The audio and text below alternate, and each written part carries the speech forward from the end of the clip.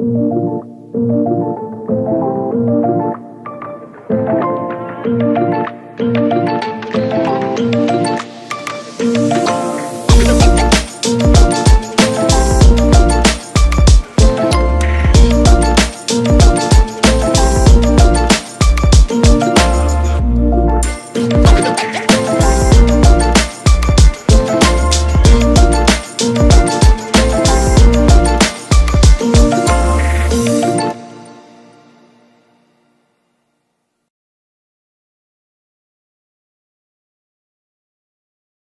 Hello, Cuvée crew, and welcome to your wine down. Today, we are traveling all the way to Champagne, France to enjoy a really special, unique cuvée from the Nominé Renard region of this particular vineyard. So let's talk about this specific wine itself. So this is a special club cuvée. It's a 2015 vintage, really, really special, really, really unique. First and foremost, we are getting the grapes from a very prestigious vineyard.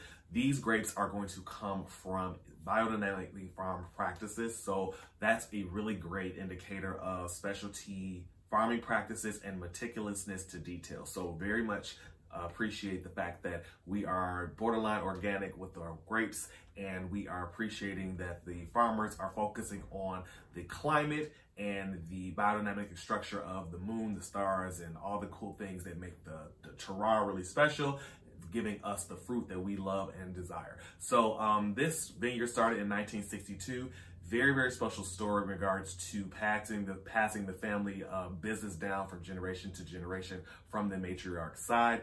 And they are really focused on preserving the traditional of the, the traditional traditional farming practices and the winemaking practices of this particular cuvee. So let's get into the color, the taste, as well as the aroma. So when you're gonna see on the color this, first and foremost, before we do that, this is 70% Pinot Noir and 30% Chardonnay. So what does that mean? So when you are enjoying this particular wine, if you are someone that really likes classic champagnes like the Blanc de Blancs, and that's going to give you the bready notes, the biscuit notes, the white on white 100% Chardonnay, this is not that. This is something with a little bit more body, a little bit more zest, and a little bit more acidity and minerality because of the Pinot Noir effect and the majority of it being Pinot Noir. Remember, Chardonnays are definitely going to be used for, for either one of these three grapes or all three grapes. Pinot Meunier, Pinot Noir or Chardonnay. So they opted out to not go with Pinot Meunier, but they are using majority Pinot Noir with a little bit of Chard to go in there.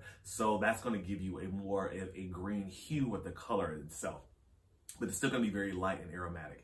Um, on the nose, you are going to get that, that lemon lime zest note. You are going to uh, really smell the minerality through the glass. So you're going to have a chalky flavor as well on the nostril, on the nose, excuse me. But most importantly, let's get into the taste. So um, first, I just love this particular vintage. Again, it's a special crew. Only the best grapes make this particular vintage. So it's an exceptional vintage.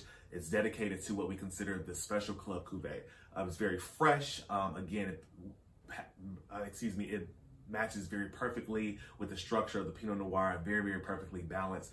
And I really do think that this is a great option for you all that enjoy acidity and minerality. Um, one thing I would suggest is to pair this with some type of uh, really delicious uh, high-end seafood like a Chilean sea bass with the fried skin on there. That's going to go very well. It's going to pick up on that that acid and the minerality within this as well. Because this is a vibrant aromatic wine. It's very attractive. It has preserved lemon quality in there. Um, again, it does have the chalky aroma on the nose. Um, I think that it has a floral characteristic that's really, really beautiful. And it's the palate is smooth, has zest to it, have kind of like a sorbet feel. So I think this is one to remember. So again, this is 2015 vintage. This is going to age exceptionally well. You might get a 15 to 20 more years out of this, but don't be afraid to enjoy it today. So until the next time, guys, I want you to try this wine and let me know what you think about it in the comment section. Until next time, cheers.